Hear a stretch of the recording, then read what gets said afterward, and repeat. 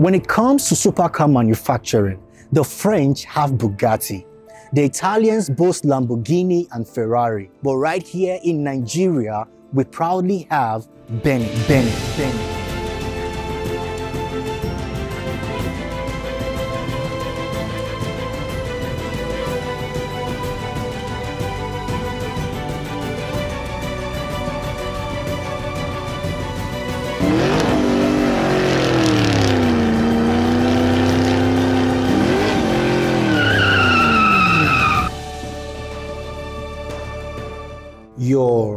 Experience in building cars, where did the bulk of the knowledge come from? Kind of self-taught. Um, I learned most of the things I learned online.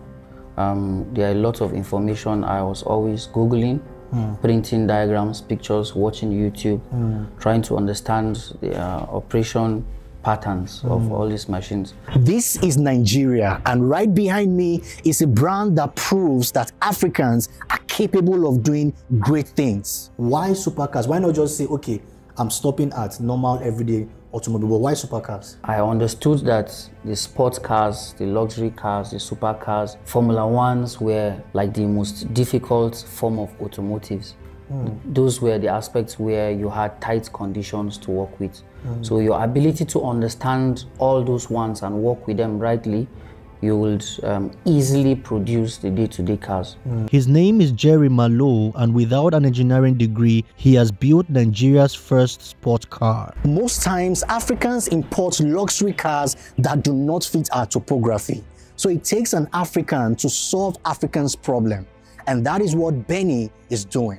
The basic is to see that we make affordable and available vehicles designed for the African environment.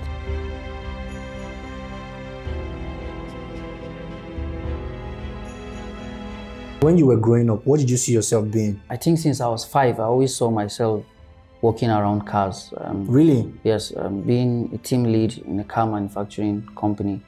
Um, I, I, I, can't really put memories together, but I remember growing up in the village, we use uh, offcuts from roofing sheets to make toy cars. Mm. We use sticks and other things. And I always wanted mine to be the finest, to mm. be the best amongst my peer group.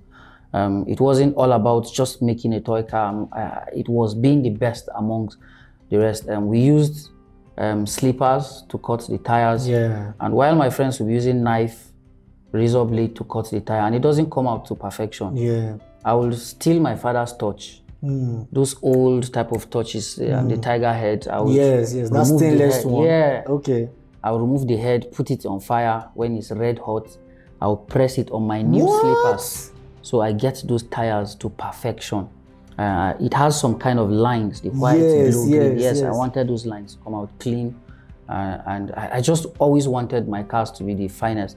Even if I was taking my bath and I had the sound of any car passing, I would want to run out to, just to see the car. What? So I, I, knew that there was much interest about vehicles since that young age, and I kept growing and developing the interest more around it. I was fortunate to go to a primary school where the science teacher gave me noticed my interest and mm. gave me hmm. more attention around it. He was buying toy cars for me to dismantle.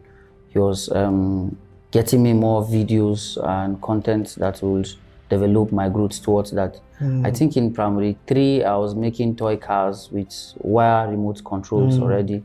Uh, in, in GS3, I built the first drivable car that I was able to sit down and drive on. So wow. that's where it started from.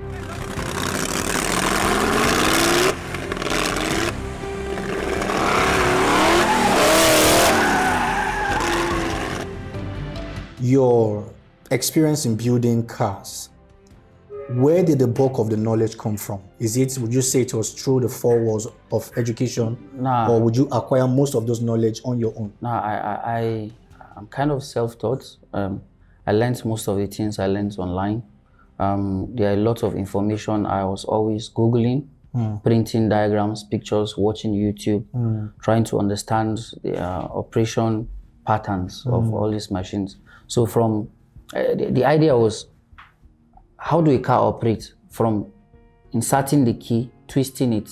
What happens in that Kickstarter? What do the key touch? Mm. What electricity flows to the Kickstarter, to the crankshaft, to all that? So I just needed to understand all those basics.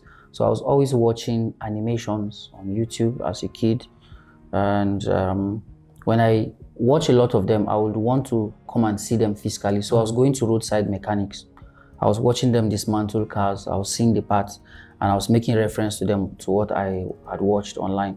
So it started from there to the point where I said, um, I need to make one. I don't want to keep assuming that I understand and I can do it. I need to make one. So I tried to do something very little with a grinding machine engine. So um, I just welded the chassis, the body parts together, mounted um, the grinding machine and attached it with a motorcycle gearbox. Wow. Uh, with wheelbarrow tires and the steady connection. And I saw that, yes, it was working. So that gave me a better motivation to, okay, let me do something better. I need to try and see what I could do better. And so on. I kept growing. But you know what? my- What I'm curious about is many people, you know, if they want to venture into automobile, um, you know, manufacturing, they will start with normal automobile that people use on a day-to-day basis. But for you, you didn't go with the simple one, which is the simple, the everyday automobile. You went with supercars. Why supercars? Why not just say, okay, I'm stopping at normal everyday automobile, but why supercars? So um, there's a lot of plans to build day-to-day cars. Okay. There's a lot of plans to build buses, tricycles, um, SUVs, and a couple of others. But um, during my studies, um, I understood that the sports cars, the luxury cars, the supercars, Formula Ones were like the most difficult form of automotives. Those were the aspects where you had tight conditions to work with. So your ability to understand all those ones and work with them rightly, you would um, easily produce the day-to-day cars.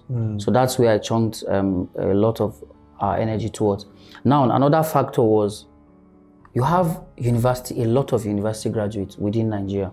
If the target is to have manufacturing companies in large scales here in Nigeria, who are going to be the designers, who will be the engineers, and who and so on in the, in the company. So I also saw it as a teaching training ground for other mm. young people who are university graduates and want to understand the basics of car manufacturing. Mm. So as we're doing our team, doing the prototyping and research development, we're also taking students on intern mm. and teaching them ABC so they could learn D, E, F on their own. And supercars, sports cars are um, the, some of the difficult aspect of automobile.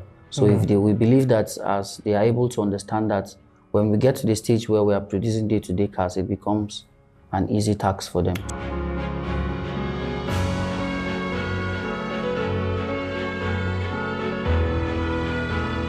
What is the biggest challenge you've had, you know, in building these vehicles? access to finance um, has been the first, the major, and maybe the next access to information, to knowledge, um, to the know-how on how to achieve it. There are limited um, libraries, limited study facilities, limited research facilities that will enable you try something like this. Um, um, unfortunately, we're in an environment where things like this are not really prioritized. So um, a lot of times you have to go through the route of trial and error to get it right. There are not sure places that you can go to and you get the right information needed there. So I think those are the two major challenges. Um, the first being finance, which is um, the same or usual across all platforms. There are limited opportunities, financial opportunities around the environment. There are no financial institutions that really support. Um, there are a few, but having access to them is quite difficult. Difficult. Um, as a young chap, you will be asked to provide collateral twice, three times the amount you are requesting. For manufacturing, is no bread production. It's not something you need 5 million, 10 million for. So for huge amounts at our age, what collateral do we have to give? So it becomes difficult. And sometimes, even when it's accessible, you need loud voices to press buttons for you before you have access to them. So it becomes a challenge. When you go to the commercial banks, their interest rates are high with no little or no moratorium period. So if you are giving the loan this month, from next month, you're already servicing, you're already paying the loan. You are using it for an automotive manufacturing research, um, which sometimes in five years you're not even done. But in a month's time, you're already paying the, the, the capital and the interest. Bennie Automobile is still on research and development stage, um, where we are focused on taking in investors. Um, we've been we've been pushing on making investments and getting the patients funding that will enable us get our workshops to standards um, to further produce standard vehicles. So are you telling me that are you telling me that right now that Benny Automobile is not doing mass production? No, no, no, not at all. So that means all the razzmatazz we see online about Benny Automobile, what you are saying is you are still a brand seeking investors That's right. with you know to invest in African talents that has built this amazing product. That's right. So what can you I mean tell us about this particular phase you guys are in? You know, what would you want from people from investors at this point? So, so basically, um, like earlier mentioned, patient funding. So um, this is us trying to tell Africans that an indigenous brand needs to be developed, mm. needs to be made. And if there are fundings made available in no time, in few years from now, it's going to be uh, blown, is going to be grown mm. to a point where it can service the need of um, the African environment. Mm. It's just like giving birth to a baby. Um, at the first stage, you need to do a lot of cleaning of the baby, and in few years, it grows up and it becomes an adult. Mm. So this is just us telling investors that um, we are the right place, we are the next gold you need to invest your finances.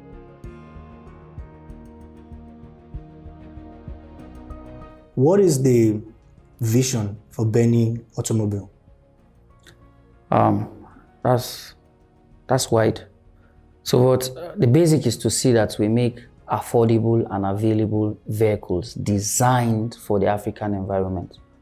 Um, it hurts a lot when we see car crashes um, take the lives of so many people in them. So if you travel around, you see when there's a bus crash, it squeezes the commuters in it, and uh, the chances of survival is very little. So we want to see where Bennie grows to a point where we make vehicles that um, chances of survival is as high as 90%, mm. 95%. Designed by Africans for the African environment. Yeah. Most of the vehicles we use were designed to to protect humans at maybe 90 kilometers per mm. hour at, at low speeds. But in Africa, we we barely have regards for speed. So we, we find people driving at 120, 150, mm-hmm. and if they crash at those speeds, those vehicles were not designed to handle those crashes. Mm. So we want to see where we get to the point where our vehicles can safeguard the lives of people mm. at those high speeds. That's one of the reasons why we um, we're careful about choosing the material we use in building our vehicles. Started with fiberglass, fiberglass will be able to absorb those shocks at high speed mm-hmm. and then shatter when the shocks becomes too much. Mm-hmm. Then with the airbags in them, it will further cushion um, the effect on the human mm-hmm. bodies um, rather than squeezing them inside as metal sheets mm-hmm. would.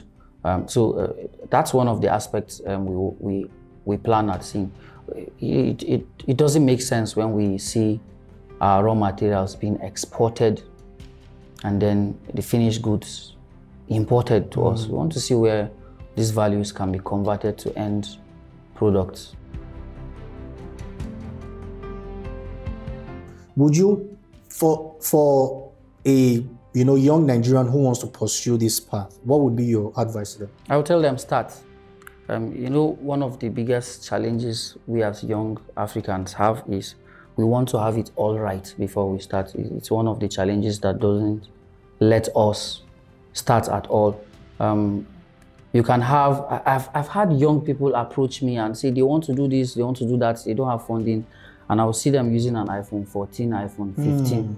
But they're saying they don't have a capital and all they needed was like slash the price of that phone. Um, some of them will say they don't have knowledge on how to do it while they have a smartphone. It's like the smartphone is just used for fun. Mm. They don't see it as, as an avenue to learn. Mm. Um, so I, I, will advise them to just start with what they have to get what they need. Start by learning online. Start with the little finance you have to start doing what you want to do. I remember so many sacrifices I did. So you, you can't go through these trails, through these paths without making sacrifices. There are times where I had monies to buy clothes. I will sacrifice and use it to do all those. There are times where I sold my phones because I needed mm. finance to achieve it. In. So um, just start where you can start, make sacrifices, be willing to to try over and over until you get it right. Guys, this is to say that African entrepreneurs need African investors. That's okay, right. we need to invest in ourselves, in our human resource, in our talent.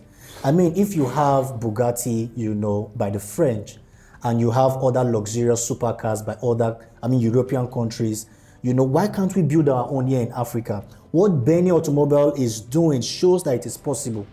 And this is just funding from, you know, internal funding, and this is how far they've come. Right now, we need investment from you guys. Let's take Bennie Automobile to where it's supposed to be. All right, guys, so that's it for us on this one today. I want you guys to please let us know what your thoughts are in the comments below. If you need to reach out to Bennie Automobile, remember for investments, reach the you the description below. You will see details there you can reach out to. Okay, stay safe until next time. Peace out.